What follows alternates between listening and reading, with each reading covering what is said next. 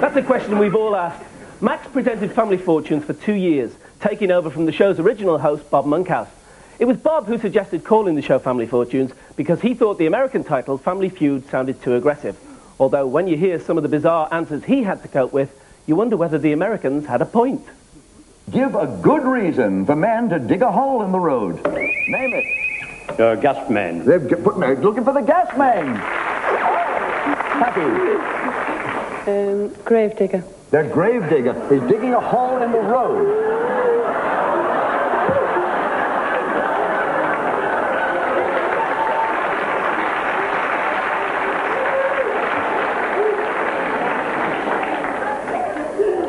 You know where you see on the road it says dead slow? Name one of the ingredients in chicken stuffing. Chicken. Chicken. Hey, you stuff chicken with a chicken? Name a world famous violinist. Name Zucchini. Zucchini. Zucchini. Have you got the pronunciation wrong? It's not Semprini, is it? That's what I meant. Oh, you, yes, Semprini. You're quite right. When I see Semprini tuck that piano under his chin, I'm... There's a Haydn Wood, isn't there? Fine composer. Ron? Valinsky. Say it again. Valinsky. Violinski. We're getting some good names here. The top three answers on the board. Name something that uses microchips. Name it. Fish fryer. Sorry.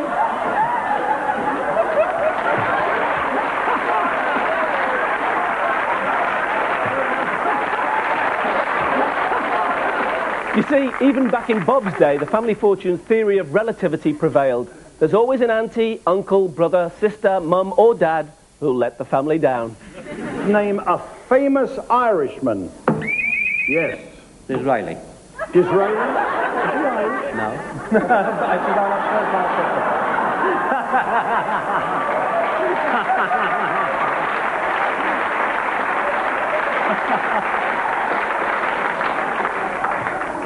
I'll tell you what, you get idiots as well on this program. All right, what do you think of bird with a long neck? Um, blackbird.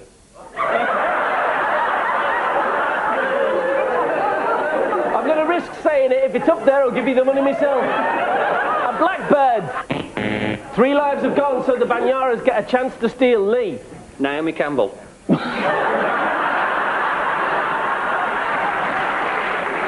do you think? Top six answers. An occupation where you might use a torch. A burglar. A burglar. I'm looking for a burglar. No. He's there, a famous Irishman. Thomas O'Malley. Thomas O'Malley. Yes. That's right, yes. He's got the fish shop in Kilburn, hasn't he? Yeah. Thomas O'Malley. Top six answers. We asked 100 people to name something that might frighten Dracula. Jake. Uh, Bob Monkhouse.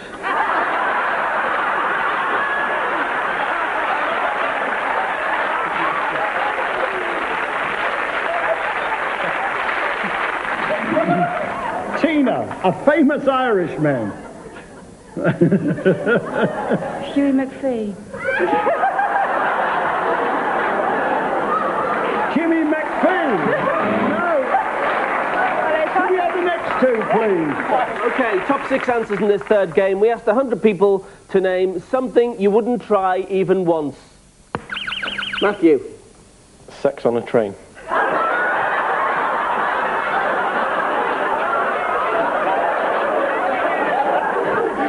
Sex on a train. No. Funnily enough, our survey people didn't come up with that one. I'll tell you what, if you just get if you get two answers, I'm going to give it to you. A, a famous Irishman. Yes, sir. Gareth Fitzgerald. Gareth Fitzgerald.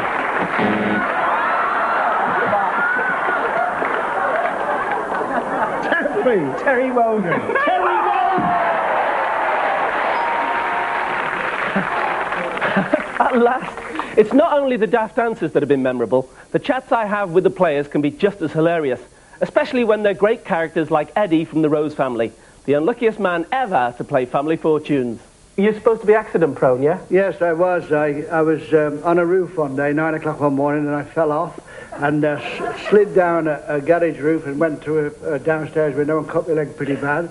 That was at nine o'clock in the morning. They took me into hospital. They sewed my leg up and uh, put it in a casing, put me in the waiting room, and by now it's about 12 o'clock. And they gave me a pair of crutches. They said, you can go home, being a tiny live just up the road. And I was on my way home and uh, going out the hospital gates when the crutch slipped and I fell down and broke my finger.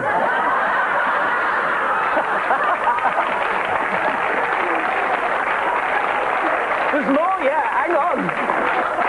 And then, So uh, they uh, took me into the surgery, put it in a splint, and put me back in the waiting room. By now it's about half past three. And I went, I said, what time's the out? They said, you must go home in an ambulance this time. I waited till half past four. The ambulance didn't come, so I sneaked out. And I'm halfway home, and I saw a friend of mine up, in, up a ladder, and he looked down at me. He was on a forecourt of a shop, and he said, what the hell have you been doing? And I, and I started to tell him, he said, I can't hear you. He said, I'll, uh, I'm coming down. So I hobbled over to the bottom of the ladder, and he dislodged some heavy equipment. I woke up in hospital with six stitches in my head.